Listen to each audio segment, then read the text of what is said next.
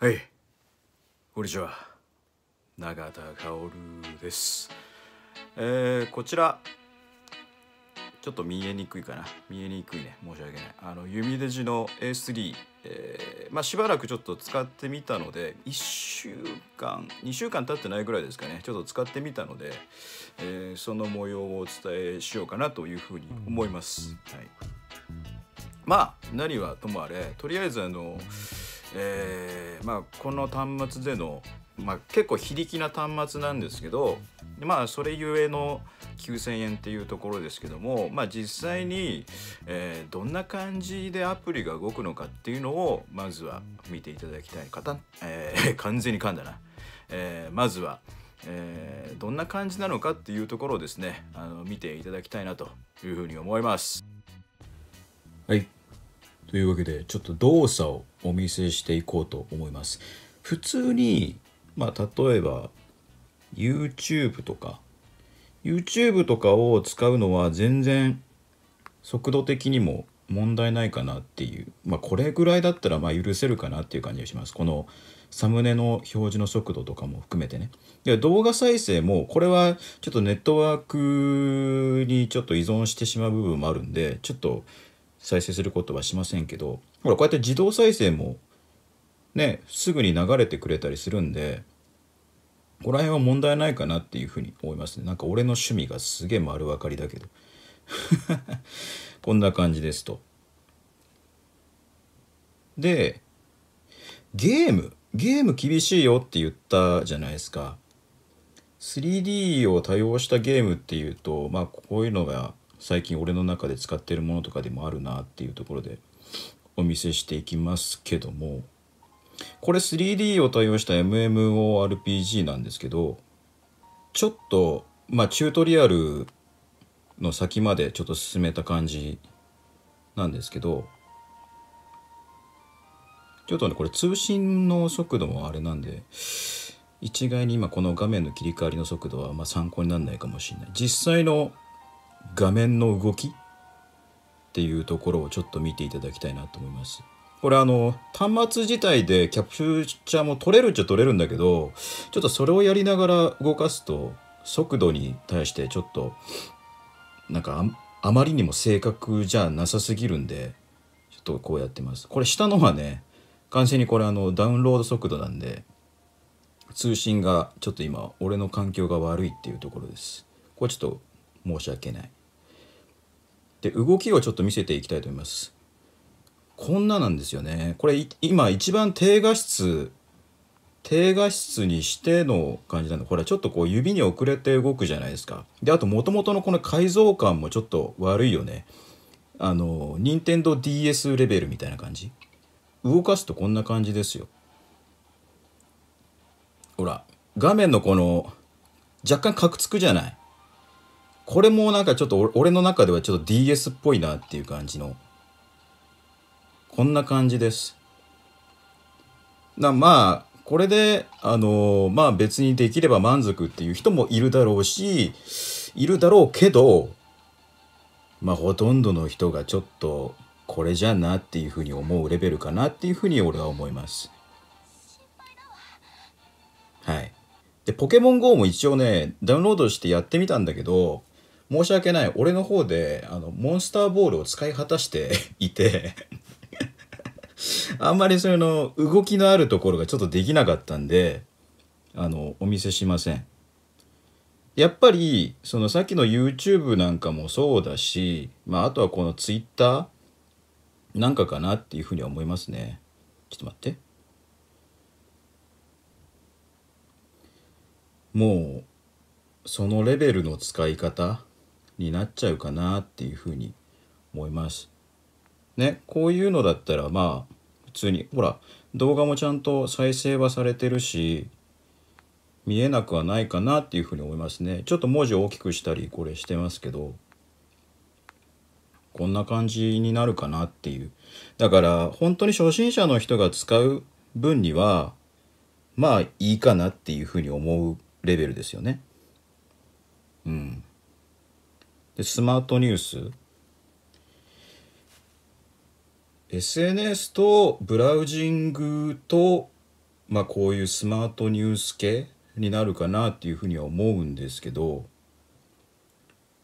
ちょっと今あれかなんかダウンロードも始まっちゃってるから速度的には正確じゃないかもしれないけど、まあ、スマートニュースなんかは一回ねあのアクセスした時にある程度こう情報を持ってきちゃうっていうパターンもあるのでこういう低スペックスマートフォンでも扱いやすいアプリになってるかなというふうに思うんですけどこんな感じですね。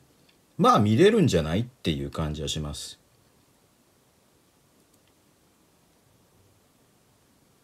ねこんな感じなんで。こんな感じです。速度的にはこんな感じ。まあまあまあまあ普通にあの最初にねその開封の時にも言った通りあの重いゲームをしなければまあ許せる範囲かなというところです。はい。はい。ということでどうだったでしょうか。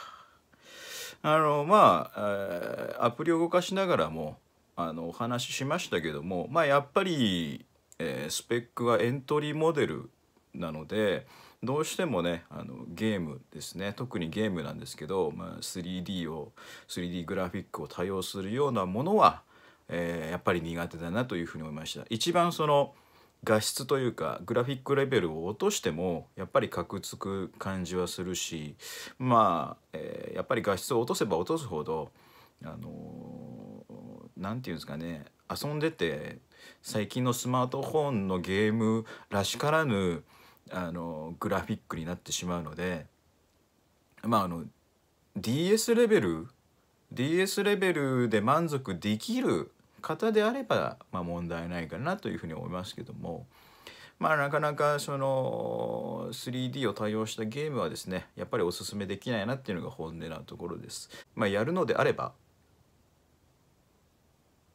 あまりグラフィックに力を入れて 力を入れてないって言ったら言い過ぎだけどもそのグラフィックがガリガリ動くようなゲームじゃないものを、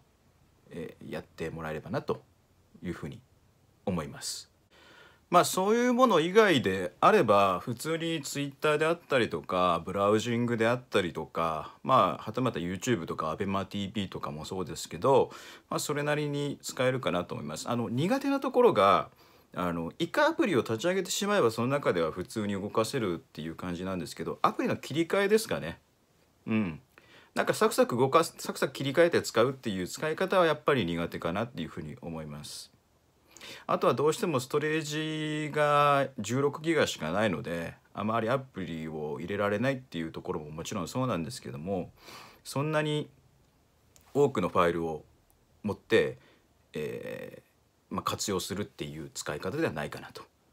いうところですかね。うん、でカメラもちょっと使ってみたんですけどやっぱり画質はそんな良くないですね。あの Z2 Pro とか Z2 のカメラの画質はまあそこそこあの普通にちょい取りだったら使えるなっていうふうに思ってたところですけどさすがにねこいつはちょっとねうんメモ代わりぐらいかなと思います。もちろんあの今までフィーチャーフォンをずっと使ってた、えー、まあちょっとこうお年を召した方であったりとか、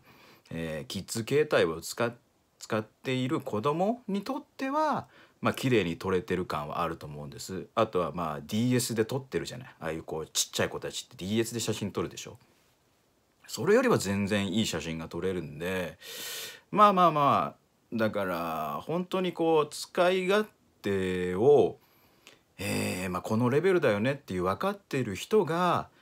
まあこれぐらいしか使わないでしょっていう人たちに与えるようかなというふうに思います。あのそういう人たちに対して渡しても大丈夫なところの強みとしてあの日本のプラチナバンドにも対応してるっていうところがやっぱり唯一いいところかなと思いますね。あとはこの外形のクオリティが9,000円とは思えないぐらいしっかりしてるっていうところがあります。あのツイッターにも一回ちょっと写真載せたんですけどまあねこの動画でちょっと伝わりにくいかなと思ってちょっとツイッターにも載せたんですよ。あの裏面をちょっともうちょっとちゃんと写真高解像度で撮ったものを正直その iPhone10 俺今使ってますけど並べられて、まあ、ロゴとかも何も見せられないでほんなんか一部だけ一部だけ拡大されて見せられたりしたらそんなに差はないように思います。分かんないと思う普通の素人の人というかあまりそういう端末に関心がない人からすると。それぐらいねちゃんと隅々まできっちりこう閉めるところは閉めるっていう感じでやってるんですよ処理の仕方がしっかりしてるのであのエントリーモデルでもここまでしっかりと、えー、まあ処理をしてくるっていうところはまさすがにですねもう手慣れたもん手慣れてきたんだろうなっていうふうに思います昔はやっぱりパーツの合わせ部分であったりとか何このちょっと歪んでる感じみたいなところが正直ありました23年前は。だけど最近はここまで来たんだっていうふうに思えるところです。であとバッテリーバッテリーが 3300mAh 積んでるんですよ。あのもともとスペックが低いところででかつその画面の解像度も要はフル HD プラスじゃないです HD プラスっていうちょっとあの今の主流よりも一段落こう下げてるところでもあるせいだとは思うんですけど結構ねバッテリー持ちますよ。あの2日は普通に使えてたなっていう印象です。まあもちろんそのスペックを落としてるからこそのそのあまりパワーを使うようなアプリを意図的に使わないっていう風なものなのであのまあだからそこら辺が割り切れる人ですね。割り切れる人にとっては本当にいい端末に思えるんじゃないかしらというところです。あのプラチナバンドが使えるってことはねあのある程度のところでは普通につながるっていうところなのであの渡したとしても安心できるんじゃないかしらっていうふうに思います。あとしっかりと、えー、ここ数日でいろいろ調べたんですよこの A3 に関して。やっぱり初期ロットなのでその俺よりも先に手に入れてる人たちからそのバグのリポートとかっていうのが上がっててただえー、OTA でアップデートをまず、えー、この間の開封動画開封動画の後に、えー、OTA が普通に来てることが分かったしでさらにこの公式フォーラムがあるんですけどそこではもっとさらにその OTA よりも新しいバージョンの、えー、まあファームウェアが公開されてたりしてなかなかねあのコメントでもありましたけど初期ロットの時は正直バグがあったりする端末ではあるんです。今まで俺が手に入れたものではバグってなかったんだけどただそのもっと俺よりも早く手に入れてる人たちからするとバグが結構あるっていうメーカーだったんですけどやっぱりちゃんとそこはあのメーカーなので修正はしてきてます。修正はしてきてるなっていうあの A3 であってもそうやってもうすぐにもう修正修正修正ってやってきてるんでやることはちゃんとやってくれるメーカーだなっていう風な印象です。あのアップデートも、えー、OTA じゃなくて普通に ROM をこうダウンロードしてきてアップデートするっていうのもまあこのチャンネルを見てる人からしたらもう朝飯前レベルですよ。別になんかコードをこう打つとかあの昔の Android のファームウェアあのアップデートみたいなコマンドプロンプロ叩いてポンポンポンってやって、えー、でブートローダーがどのコーナーみたいな感じでやるんじゃなくて普通に公式でフラッシュツールがもともとすごい軽いものがあってでそこにもうポンポンポンとポチポチポチって選択して電源を切った、ま、切ったこいつをプチュってつなげるだけで普通にだあの更新が始まっちゃうっていうものすごい簡単なあのアップデートの仕方になっていますもちろんそのこの端末単体での OTA のアップデートとかっていうのも対応してますけど最新のものを自分たちでちまちまこう試すっていうことももちろんできるという感じになってますね。まああの不満点というところは大きなところでは正直ないです。あのだって端末価格から考えるとまあまあまあまあまあまあって許しちゃいますよ。ただなんかね言うとしたらこのカメラがほんのちょっと0.2ミリぐらい段差になってるんです。これはねあの iPhone10 よりもで他の端末こういう iPhone, iPhone 配置のものよりも薄いですよこの段差はカメラのレンズのところのは 0.2mm ぐらいしかないので薄いんですけどだったらだったら平たくしませんっていうところですね。0.2ミリ厚さを残すんだったらもうちょっと厚くしちゃってもいいし逆にこう下げられるんだったら下げてもらってもいいしなんかもうなんかこう平たくしませんっていう感じとあとはここの、まあ、各機関を通過した時のマークですね。まあここから見てもらえれば分かるんですけど技的は通過してませんただ、まあ、それはちょっと置いといたとしてもこういうマークをここにプリントするのはやめてもらってもいいかなっていうふうには思います。うん、ちょっとねここら辺あの iPhone を真似るんだったらそこら辺も真似てくれてもいいんじゃないって思います。これなくしたぐらいでだって数千円高くなるとかじゃないでしょ。ねこれなくしたとしても1万円以下には全然収まるでしょ別に。それをやってもらいたかったかなっていうところですかね。あとはここですか。タイプ C にしてほしかったかなっていうとこです。そろそろもう別に全部タイプ C にしちゃってもまあ大量にねもうこのコネクタ部分はメーカーとして持ってるでしょうし全然やってくれちゃってもいいんじゃないですかっていうところですかね。そんなにコスト変わるのかなここで。ちょっとそこら辺は内情わかんないですけど。それぐらいですかね。あの使ってて特に不満はありませんでした。であとあの一つちょっと修正があってあの開封動画の時に顔認証がないなっていう感じのことを言ったんですけどありました。そこはちょっと申し訳ないなと思うんですけど顔認証こいつ一応できます。